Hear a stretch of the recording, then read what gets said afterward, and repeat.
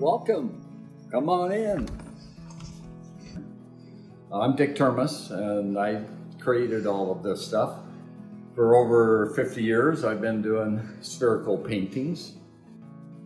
I do very realistic work, like this one shows, of Saint Denis in northern Paris.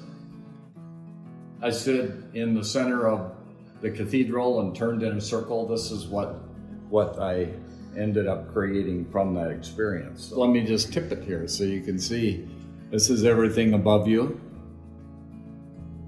And this is everything below you to give you the, the sensation of it like floating and you're just looking at this whole environment all the way around you. This is another more geometrical piece up here. It's called square dance. And it's playing with a geometry of a square that shrinks and turns slightly and creates these spirals. I started with six squares, like a cube put on the ball, and then a rhythms of squares within each square as it goes in will create uh, these four spirals that come out of it. You know, sometimes the realism turns into fantasy realism like this one, where I played, made up a cathedral and played with gargoyles kind of floating around in, inside there like they've taken over or something. And I play with a six point perspective is how I get all of this stuff to fit accurately from any way you look. In my system of perspective, if this is north, south is on the back side. So all of these are reverse thinking. When you look at the spheres, you're actually uh, conceptually inside the sphere looking at this. So if you're inside the sphere and this was a north direction, south would be back here, east would be over here, west over here, everything above you there, and everything below you there. Most, most all of the flat work, you can see some of it starts to move towards sphere thinking, uh, but it, it was all done, most of it back before I started on the sphere 50 some years ago.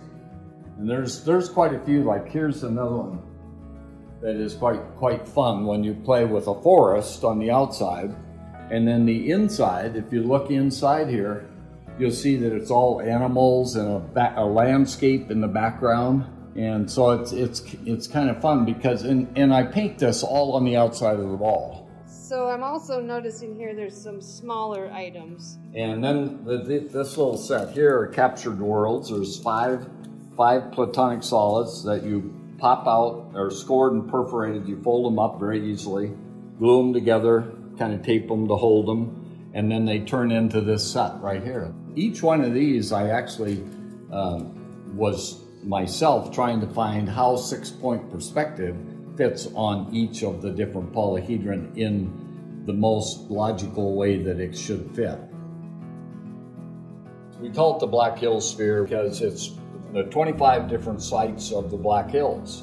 We also call it at one because when you go through the Black Hills, you get this experience of really connecting with yourself. It's a ball within a ball with a liquid between it. And it's solar, so it's, it's powered. It actually turns by light. That shows a panoramic view of, of this sphere. This is also, we, we do a couple of coloring books that are part of this. This is one that's on the website, and it's a PDF. Printed off, and you get all of these really fun illu optical illusions you know, in it. Beans coloring books are kind of an in thing right now. We thought this is also kind of fun because it folds into all of these polyhedron up here.